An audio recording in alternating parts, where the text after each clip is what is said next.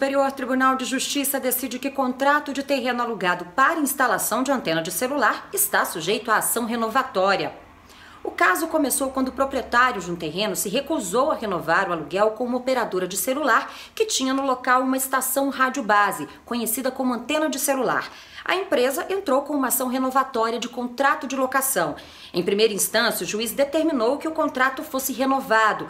O locador, então, recorreu ao Tribunal de Justiça do Rio de Janeiro, que entendeu que a estação não caracteriza o fundo de comércio da empresa e, portanto, não seria objeto de ação renovatória. Por isso, mandou a empresa desocupar o imóvel.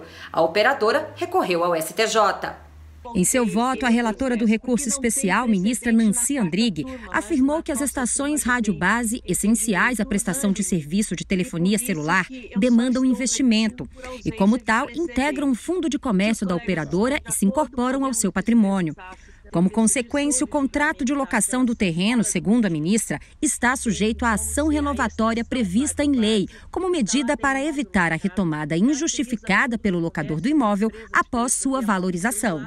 Os ministros da terceira turma seguiram o voto da relatora e reformaram a decisão do Tribunal Estadual, porém determinaram que o tribunal analise a alegação do proprietário, que justificou a retomada do imóvel para uso próprio, motivo que impediria a renovação do contrato, como prevê a Lei de Locações.